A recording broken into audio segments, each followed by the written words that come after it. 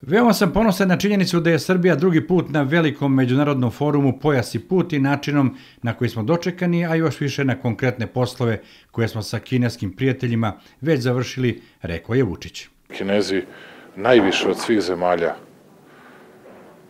jugoistočne Evrope ulažu u Srbiju, ulažu u Srbiju pre svega dakle u svoje fabrike, u svoje proizvodne pogone od Železare Smederevo, Linglonga u Zrenjaninu, dakle reč je o investiciji od milijardu dolara, Ziđinu, gde je investicija više od milijardu i 300 miliona evra, dakle ogromnom novcu je reč i o njihovom sve većoj zainteresovanosti za dolazak i ulaganje u Srbiju.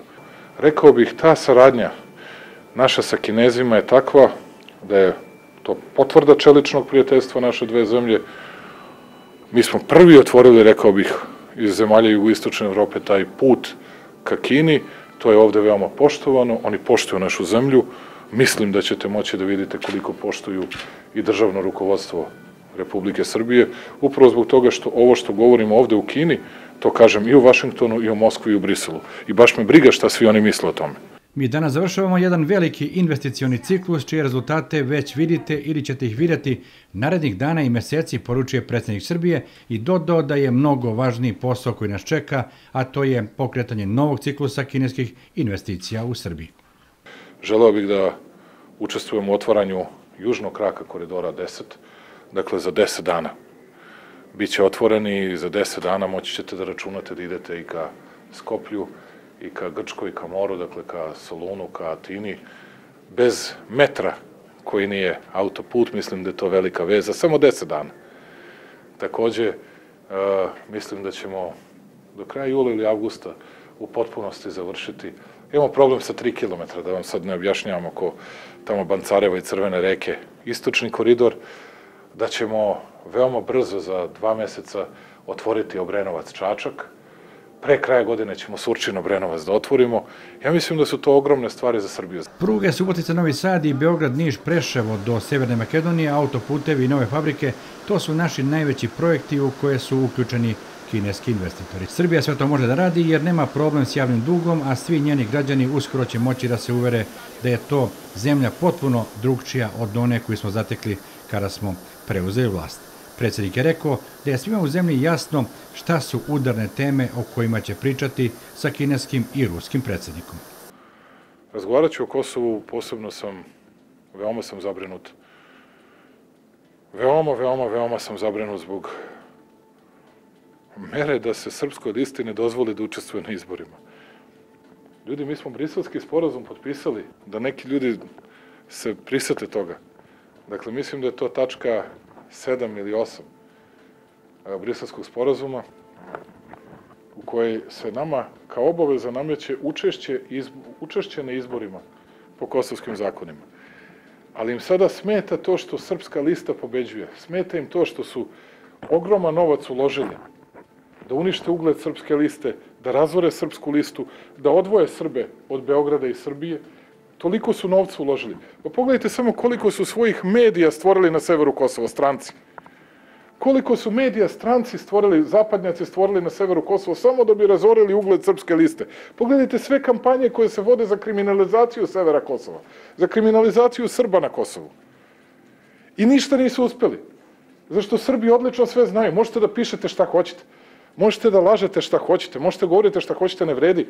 Srbi će da budu u svoj narod i bit će u svoju državu. Govoreći o najnovim zbivanjima na Kosovu i Metohiji, Vučić je rekao da su predstavnici prištinskih vlasti pokušali da Srbe iznenade raspisivanjem izbora očekujući da će ih oni bojkotovati, a kada se to nije desilo, zabranili su srpsku listu. Izostale je reakcija međunarodne zajednice, ali svakako neće moja u svim predstojećim razgovorima sa evropskim čelnicima. Zabrana srpske liste je, kaže on, brutalno ukidanje demokratije. Čekam samo šta će da mi kaže neko u Berlinu tim povodom.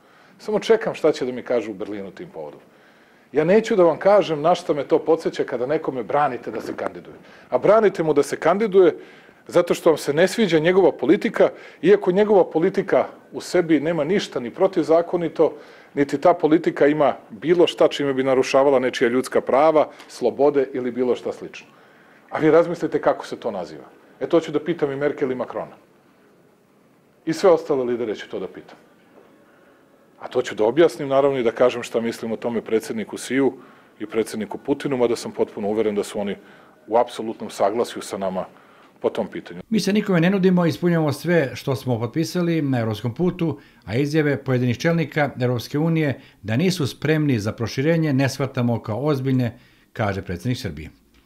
Ako nas neko ne želi, važno je da ne zaustavljaju naš razvoj i to je od suštinskog značaja. A mi ćemo, sarađujući sa Evropskom unijom, radeći sa Evropskom unijom, želeći da ispunjavamo svoje obaveze i da otvaramo nova poglavlja i da neka stara zatvaramo, raditi i sarađivati sa svim drugim zemljama. Mi smo ovde široko otvorili vrata Srbiji, nećemo ih zatvarati i nećemo ih držati samo očkrinutim, nego ćemo u puni zamah da ih otvorimo, da što više sarađujemo sa Kinezima, da što više sarađujemo sa svima drugima, i Rusima, i Turcima, i Egipćanima, i svima mogućima. Naravno, sa Evropskom unijom podrazumeva se, to je naš posao. Samo nemoj da nam govorite, ej, nemojte sa ovima, ali mi vas nećemo. Pa će biti dobro da čujemo i od kancelarke Merkel i predsednika Makrona, hoće li nas ili neće. Nisam došao u Kinu da bih pričao o onima koji čupaju znakove i vređaju članove moje porodice, to ne govori ni o meni, ni o mojoj porodici, već upravo o autorima takvih laži. Ne mogu stvarno da razgovaramo o onima koji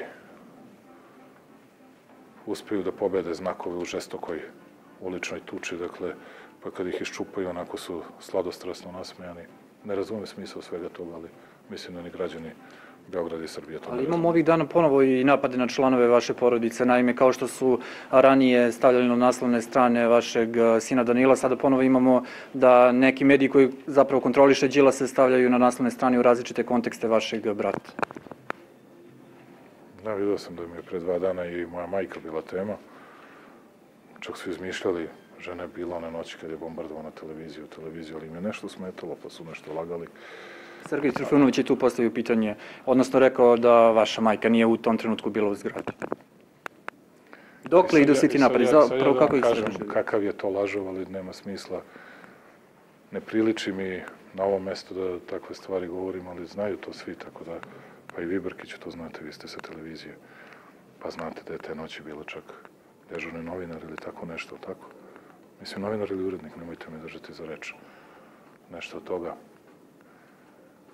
Ali, šta ćete, to, to vam pokazuje kolika je psihopatska mržnja onih koji bi na vlast da dođu po svaku cenu. Kada nemate argumente i kada ne možete da kažete izgradili smo više puteva nego Vučić, izgradili smo više pruga nego Vučić, izgradili smo više fabrika nego Vučić.